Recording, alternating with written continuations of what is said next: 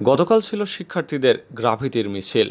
আসুন জেনে নেওয়া যাক তুলির আসরে কি ফুটে উঠেছে প্রতিবাদের ভাষা। শহর সেজেছে গ্রাফিতির মোড়কে। দেওয়ালে দেওয়ালে শোভা পাচ্ছে মিছিলের গান অথবা স্লোগান।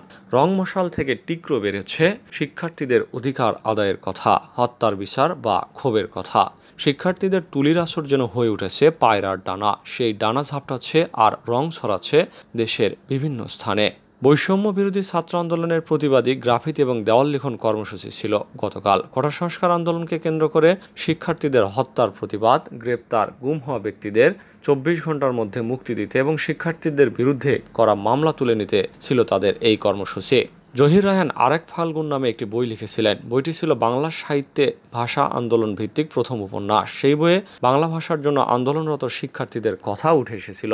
সেখানে গ্রেপ্তারকৃত ছাত্রদের সংখ্যা দেখে ডেপুটি জেলার এক পর্যায়ে বিরক্তি নিয়ে বলেছিল, এত ছেলে জায়গা দেবে কোথায়? প্রত্যুত্তরে জেলে থাকা একজন বলেছিল, এতেই ঘাবড়ে গেলেন নাকি? আসছে ফাল্গুনে, আমরা কিন্তু দ্বিগুণ হব।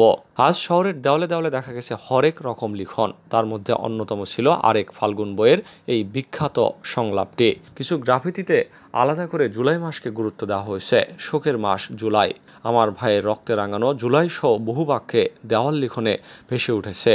কোটা আন্দোলনকে কেন্দ্র করে বহু শিক্ষার্থীদের প্রাণহানির ঘটনা ঘটেছে। তাদের মধ্যে একজন নিহত শিক্ষার্থীদের মা আহাজারি করে বলেছিলেন হামার বেটাক মারলু কেনে সেই হত্যার প্রতিবাদ জানিয়ে শাহজালাল বিজ্ঞান এবং প্রযুক্তি বিশ্ববিদ্যালয়ের শিক্ষার্থীদের দেওয়াল লেখন ছিল। আমার বেটাক মারলু কেনে বিচার চাই বিচার চাই। সাবিপ্রবির প্রধান ফটকের শিক্ষার্থীদের আরও একটি গ্রাফিতি সবার নজর কেড়েছে। সেখানে বেগম রোকেয়া বিশ্ববিদ্যালয়ের শিক্ষার্থী আবু সাইদের বুক পেতে দেওয়া একটি প্রতিকৃতি ছিল। পাশে লেখা ছিল, বুকের ভিতর অনেক ঝড়, বুক পেতেছি গুলি কর। আরও কিছু গ্রাফিতিতে দেখা গেছে, সেখানে লেখা ছিল, দেশ স্বাধীন হলে আমরা আবার ছাদে উঠব। আমি মেট্রো রেল হতে চেয়েছিলাম। খোদা আমাকে ছাত্র বানালো প্রভৃতি। ফেনীতেও দেখা গেছে এমন চিত্র। শিক্ষার্থীরা দেওয়াল লিখনে লিখেছেন, তোমার ভয় নেই মা, আমরা প্রতিবাদ করতে জানি। গ্রাফিতির প্রদর্শনী দেখা গেছে খুলনা বিশ্ববিদ্যালয়েও। রাজধানী ঢাকার পলাশির মোড়েও হরেক রকমের গ্রাফিতি দেখা মেলে। সেখানে অঙ্কিত ছিল, যুদ্ধ আমি চাই না, তবু রক্ত কেন ঝরে? ছাত্রদের উপর হামলা কেন? ঢাকা বিশ্ববিদ্যালয়ের গণসংযোগ ও সাংবাদিকতা বিভাগের অধ্যাপক গীতিয়ারা নাসরিন নিজের ফেসবুক পেজে এই পোস্টে একটি কভার ফটো পোস্ট করেন। সৌভাত রাশেদিন শৌখিন নামের একজনকে উদ্ধৃত করে ক্যাপশনটি দেওয়া ছিল। সেখানে লেখা ছিল, বৈষম্য বিরোধী ছাত্র আন্দোলনের আজকের কর্মসূচি হিসেবে আমরা কিছু সমমনা কার্টুনিস্ট ও চারুকলার শিক্ষার্থীরা পলাশির মোড়ে জড়ো হই। পুয়েটের দেওয়ালে শান্তিপূর্ণভাবে দেওয়াল লিখন করতে থাকি।